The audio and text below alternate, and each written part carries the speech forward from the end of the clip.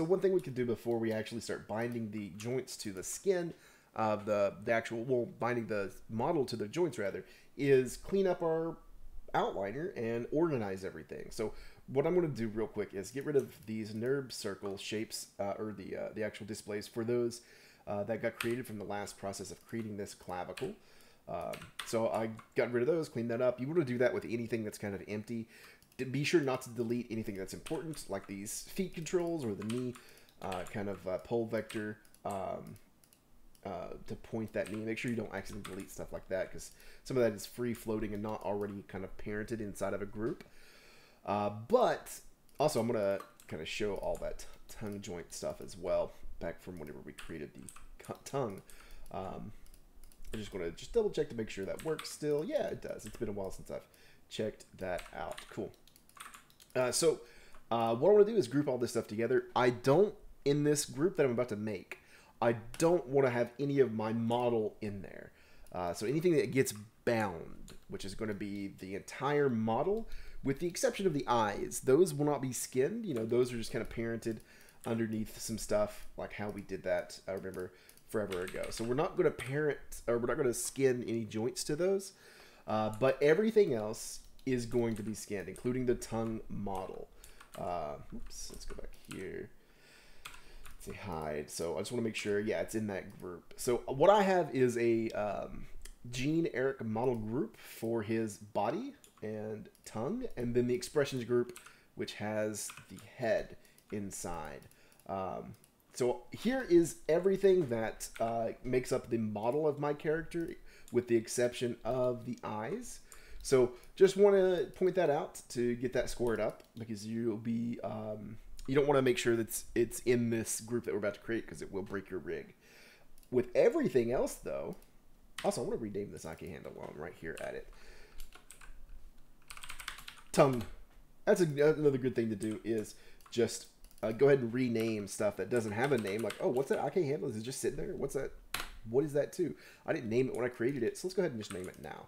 Um, cool. So we're going to group all this stuff. So I'm just going to select uh, everything else that's not part of that uh, initial model group. Again, the eyes are part of this, but that's okay. Uh, those don't get uh, bound to the joints. They just stay parented where they are. We're going to parent all of these to each other. So we're just going to say Control G, make a group. We're going to call this the all character GRP. So now we have two groups, one for our model, one for the rig itself. Uh, and this is what we're going to be able to do to move this around. Do note, though, that some of the IK stuff does break when we move it around. We have to go in and fix that. So I'm going to, before I do that, uh, just create a, another curve circle, scale it up, uh, scale it up to right about there, and then we're going to say good old freeze transformations delete history.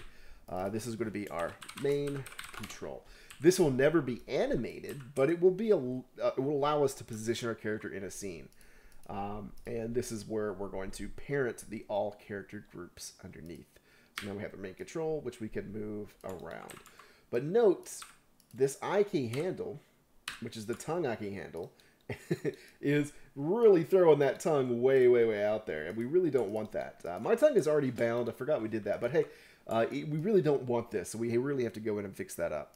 So what I want to do is first off undo that movement that I did with the main control. Make sure it's back here.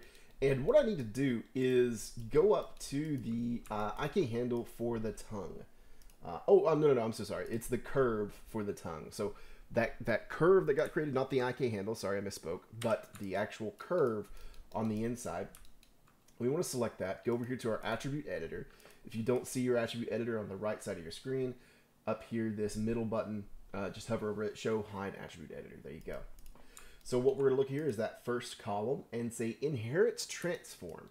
So essentially what's happening is uh, in this parent system, um, this curve is kind of in inheriting more transformations uh, for translates or, or, rotations or scales, all that great stuff.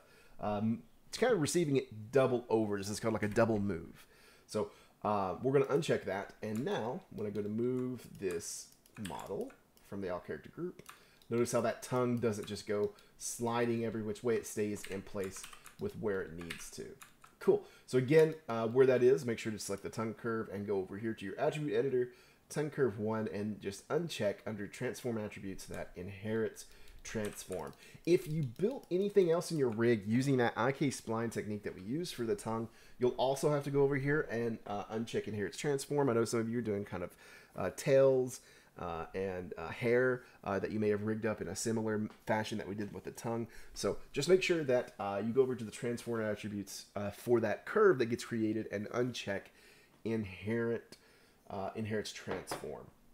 And that should be it for grouping and kind of organizing everything. Next up is actually binding the skin, uh, binding the model to the um, uh, the joints and going through that process of painting skin weights.